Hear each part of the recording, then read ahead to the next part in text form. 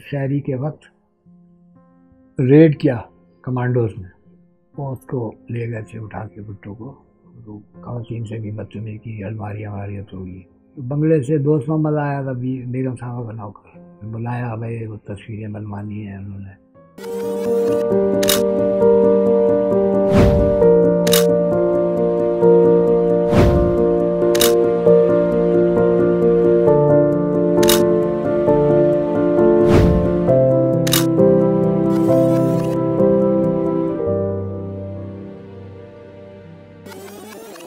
Seven में जो है जुजवी तौर पे मार्शल ने भी लगा था, दो शहरों में, कराची में और लाहौर में। फौज की फायरिंग से कुछ लोग मरे थे, तीन चार यहाँ मारे थे तो कहते इतनी ज़्यादा मार दिए बहुत कम लोग मरे थे।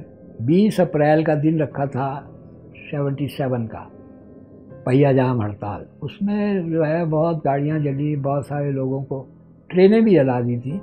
फिर जुल्फ़ार भुट्टो को पहले तो गिरफ़्तार किया था, उसी वक्त जब वज़ी अजम से वो रात को, जब कू हुआ है मिलिट्री कू और अपोजिशन के जो लीडर थे, उनको भी गिरफ़्तार किया, क्योंकि वो भी वहीं थे और बातचीत हो रही थी मज़ाक चल रहे थे और मुतफिक हो गए थे कि इलेक्शन दोबारा होंगे और इस पर साइन जो है, रह रह गए थे होना उन्होंने कहा अगले दिन करेंगे।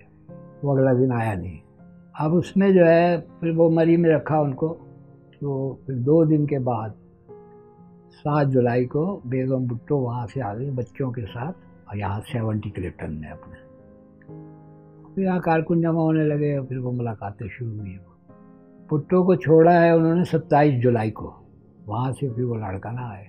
लड़काना आने के बाद फिर वो दो तीन दिन वहाँ मुलाकातें करते रहे और पहली तारीख को वहाँ से चले हैं अगस्त की बदरिया ट्रेन। जिसको कह रहे हैं पहला ट्रेन मार्च था। ट्रेन मार्च नहीं था, कोई ऐलान नहीं किया था उन्होंने। लेकिन वो बन गया।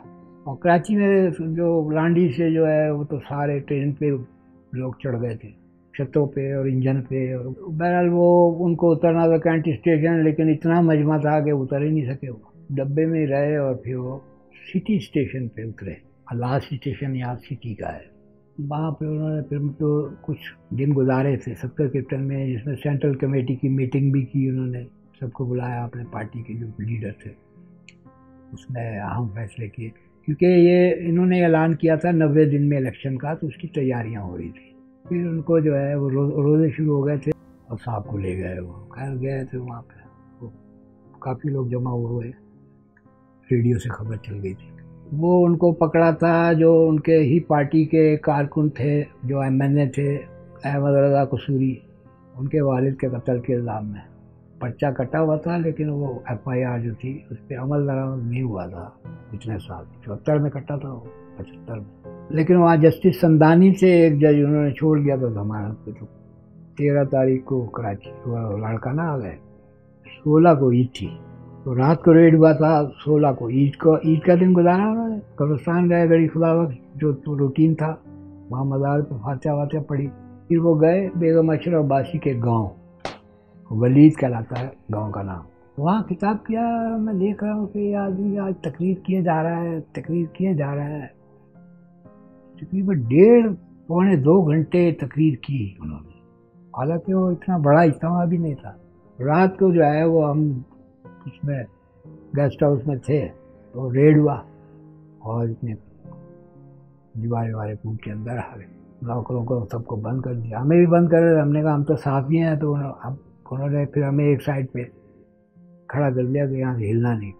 तो हम खैर हिल गए थे, क्योंकि वो गाड़ी में बैठने से पहले दरवाजे से निकल के मुर्तज़ा से बात कर रहे थे, थोड़ी दूर की लाइट थी, दो बजे रात का वक्त था।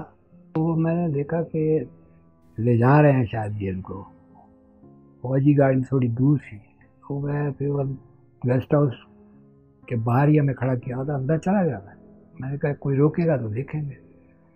तो फिर मैंने वो कैमरा उठाया गया, मैंने एक तस्वीर बनाई। दूसरी बना रहा था तो उसने मुझे रोक दिया। उसने कहा कि आप ये काम नहीं करें। मैंने कहा तो घर की तस्वीरें बना रहा हूँ? कहा, नहीं नहीं, आप नहीं करें। मैं चला गया मैंने कहा, ये जो एक बनी है, ये भी ना जाए। ये जो बन गया है तो भी रिकॉर्ड है। बाद में तो बहुत बड़ा रिकॉर्ड बन गया कि वो उनकी आखिरी तस्वीर थी। उसके बाद फिर वो कैद में रहे, उसी में उनको सज़ा हुई और फिर उसके बाद फांसी, फिर मैयत आई है उनकी। ये लास्ट पिक्चर है उनकी।